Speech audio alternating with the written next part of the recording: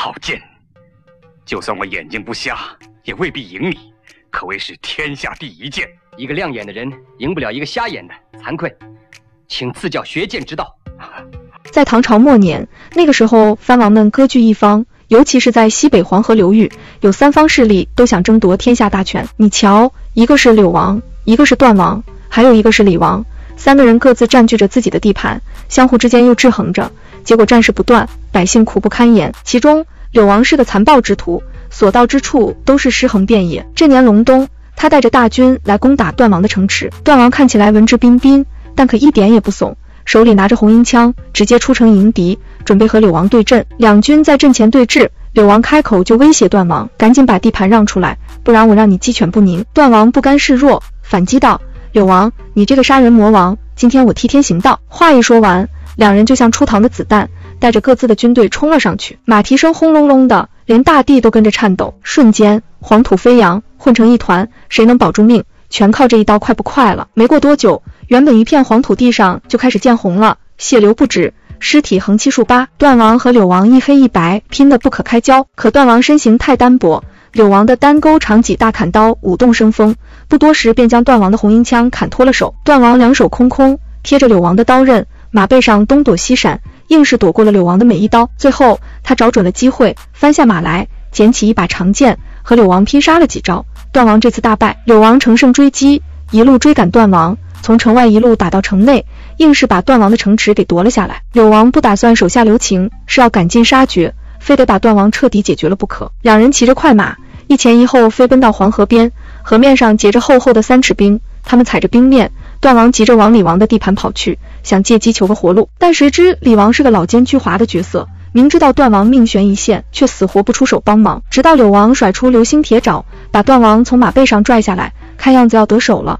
这李王才叫人放箭，可是这乱箭射出来，根本分不清射的是谁，分明是要两边都置于死地，想坐收渔翁之利。柳王见势不妙，赶紧掉头，拖着段王躲出了箭阵，先保命。等躲开箭阵后，柳王开始不留情的折磨段王。他那把长戟前后都是利刃，对着段王就是一阵猛刺，瞅准机会，像插鱼一样猛地刺向段王的肩膀。眼看段王命不久矣，就在柳王准备再补上一刀了结段王时，突然一顶草帽飞了过来。救了段王一命。紧接着，一匹快马直冲过来，马上骑着一个满脸胡须的剑客，手持长剑，直冲柳王，将他打落马下。这个剑客名叫马毅，身形瘦削，眼神像刀锋一般犀利，手里握着三尺三寸的长剑。他离家十年，四处学艺，今天刚好回归，就遇上了这个场面。柳王一看情况不妙，立刻把长戟一分为二，变成一手短戟，一手短枪，跟男主厮杀起来。可男主十年磨剑。这正是他大显身手的机会，手中的长剑仿佛活了一样，招招凌厉，直攻柳王要害，把柳王逼得只能招架。柳王在男主的剑术压制下，毫无还手之力。男主的厉害之处还在于，明明能一剑要了他的命，却始终手下留情。这十年的修炼，不仅让男主练成了精湛的剑术，更让他拥有了一颗脱俗的心境。柳王见自己落败，只好跪地求饶。趁男主不注意，他一脚蹬地，翻身上马。赶紧逃命去了。这时，老奸巨猾的李王站在墙头，看到男主身手了得，立马派人去找他，想要招入帐下。要是不能为己所用，那就直接除掉他。段王也不甘落后，派人四处寻找男主，一方面要报恩，另一方面也想把他留在身边，为己所用。受了大辱的柳王心中怒火难消，直接带兵杀到了男主的村寨，将村里老小连同男主的妻女全都杀害。男主踏马归来。眼睁睁看着家人倒在自己面前，柳王残暴无道，单手执戟，竟把男主的女儿挑起来。男主愤怒之下，转身一剑刺伤柳王的手臂。柳王吃过一次亏，哪还敢恋战？赶紧收兵逃走。十年在外漂泊修炼，好不容易回家，竟然碰上这场大难。男主痛彻心扉，心中苦痛难言。他勤学苦练的高超剑术，本想着有所作为，结果连家人都没保住，斗志瞬间崩溃，终日借酒浇愁，醉生梦死。这天，男主在街头喝酒。突然被一个卖艺的年轻人吸引了过去。这人叫车天，靠街头卖艺为生，腰上挂满了大小不一的腰鼓，活像只窜天猴，翻飞腾挪，口齿伶俐，逗得围观人群哈哈大笑。可无奈战火连年，车天到了要钱的环节，围观的都纷纷散去，连买个馒头的钱都没讨到，叫苦不迭。男主见状，随手丢了一块碎银给他。车天见到碎银，乐得笑开了花，赶紧凑到男主跟前，刚要说几句感激的话，结果李王的两个手下追过来了，开口就是高官厚禄，想请男主为李王效力。但男主哪有心思当官，随便敷衍几句，就把这两人打发走了。继续一杯接一杯的喝酒，直到醉得不省人事。等到要结账时，才发现自己光顾着行侠仗义了，身上分文未剩，碎银都给了车天。店家一看他没钱，直接没收了男主的佩剑，还把他抬出酒馆，丢进了臭水池里。车天心里想着，收了银子，总得替人家解决点事儿吧，不忍心男主冻死在荒郊野外，就把他背到了自己落脚的山洞里。这男主大醉之中，被冷水一击，眼前全是仇人柳王的影子。拔剑就朝车天刺去，可就算醉得不省人事，男主的醉剑依旧收放自如，丝毫不乱。车天灵机一动，心生一计，想着干脆用酒当诱饵，让男主跟他搭伙卖艺。这男主的醉剑加上自己的一张巧嘴，俩人搭配肯定能挣不少银子。眼下为男主赎剑余下的几文钱，根本买不了什么好酒。没办法，男主随手捡了个杜康酒瓶，任凭酒家往里灌。正在买酒时，李王的手下还是不死心，既然不能拉拢男主。那干脆把他除掉。于是两人合谋，一个找茬拖住车天，另一个趁机把毒药投进了男主的酒瓶里，想要毒死他。可偏偏车天足够倒霉，刚出酒馆就被一群小乞丐抢劫，杜康酒飞出，摔在地上洒了大半。车天一看也没办法，银子都花光了，没法再买酒。瞅见饭馆的刷碗水，也不管什么水，直接灌满了酒瓶。这么一折腾下来，毒性倒是稀释了不少。拿到酒的男主也不多想。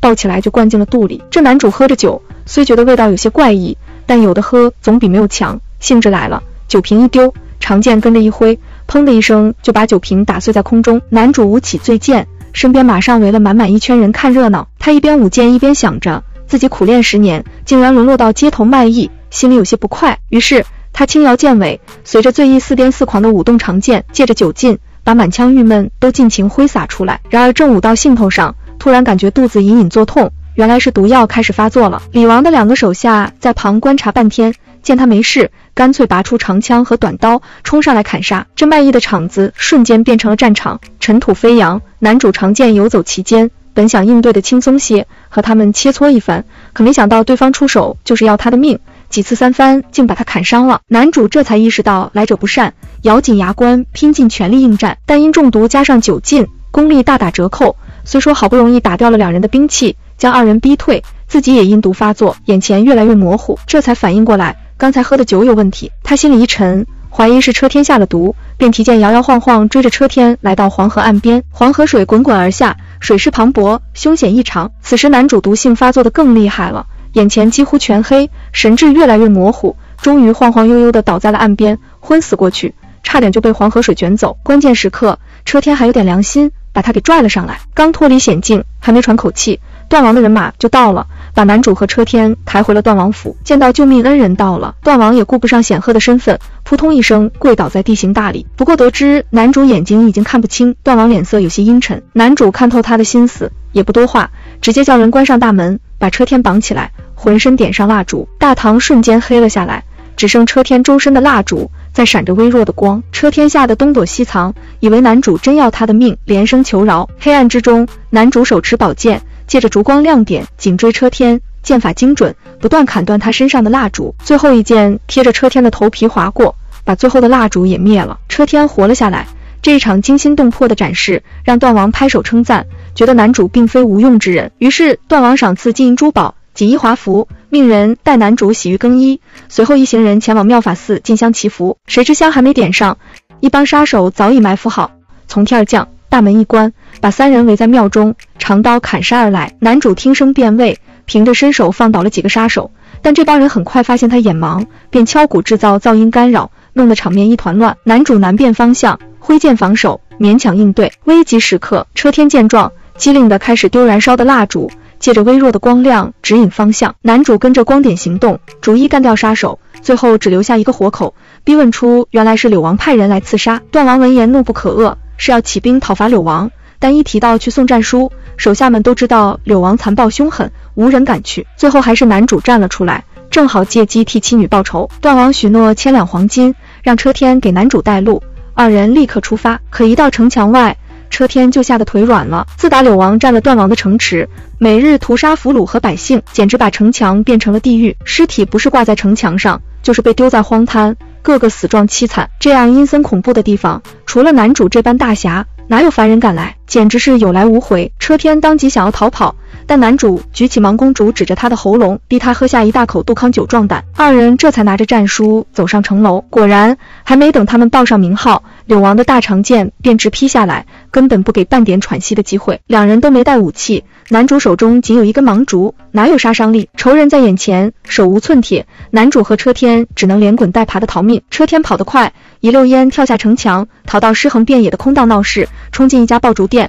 捞起一堆鞭炮当武器，窜天猴虽说杀伤力不大，但咻的一声射向敌军，炸开的响声把追兵吓得一愣一愣的。车天还把炮仗绑满全身，手持一根点着的香，活像个行走的火药人，随时发射窜天猴震慑敌人。正巧男主也从城墙上跳下来，被追得满地乱窜。二人慌不择路，又绕回城楼。车天的爆竹烟花一路乱炸，趁着此刻，二人赶紧从城墙翻下，策马狂奔而去。柳王哪里肯轻易放过他们？带着人马一路猛追，正所谓螳螂捕蝉，黄雀在后。早在城外埋伏的段王抓住机会，趁柳王离开城池，带大军一举攻城，将城池夺了回来。男主和车天被柳王追赶，逃到了一处山沟，碰见了许多无家可归、流落避难的百姓。官兵一到，百姓们惊慌失措地四散逃命。可柳王的兵不分老弱妇孺，见人就砍，根本不留活路。这些饱受战乱之苦的百姓已是家破人亡。见柳王如此残暴，只得拿起手中的农具与他拼死一搏。在大家齐心协力下，男主抓住机会，用一根木棒刺穿了柳王。这个作恶多端的魔王终于命丧当场。可百姓们心中满腔怒火难平，转头一看，发现车天还穿着官服，立刻把他吊了起来。百姓们把男主也围住，有人愤怒地指责：“你们这些当官的，只知道争权夺地，从不顾及我们的死活。我们家被烧了，人快被杀光了，你们还在打仗。”而另一边，段王却满心欢喜。因他除掉了柳王这个心腹之患，不仅夺回了城池，还把柳王的地盘尽数收入囊中，可谓双喜临门。于是大摆宴席庆功，剩下的李王再慢慢对付。听了百姓们的指责，男主心有所感，他明白到要拯救苍生百姓于苦难，不是他一人之力能够达成的，于是决意离开段王，开设剑道馆，广收门徒，传授武艺。慕名而来的人络绎不绝。其中不乏剑术高手，看着这些志同道合的侠士为黎明苍生汇聚一堂，男主仿佛找到了人生的希望，也感受到自己存在的价值。这一天，男主在野外策马疾驰，远远听见呼救声，循声而去，发现一群鬼面杀手正在围攻一名年轻女子。男主拔剑相助，经过一番厮杀，总算将杀手们击退，救下了女子，并把她带回了剑道馆。二人相处几日，女子对男主渐渐倾心，而这伙鬼面杀手可不是复活的柳王。而是段王派来暗杀李王的。段王原本计划把李王的女儿真真抓做人质，不料被男主搅了局，把人给救走了。段王表面慈眉善目，实则心思深沉。他见劫杀失败，假称李王想要兴兵来犯，以夺回真真。段王提出让男主护送真真回李王身边，以此化干戈为玉帛，平息战火。男主觉得这是个止战的好机会，欣然应允。可还没等人马出发，车天就坐不住了，抢先一步策马奔向李王。想先报喜，好领赏。哪成想他一到李王那儿，就被五花大绑，成了人质。李王随即带着人马和车天来交换真真。眼看交换成功在即，李王掀开轿帘，却愣住了。他女儿真真竟然浑身是血，早已没了呼吸。看到自己的女儿成了冰冷的尸体，李王怒火中烧，拔出三节棍和流星锤，冲向男主，招招致命。男主自知理亏，一开始并不还手。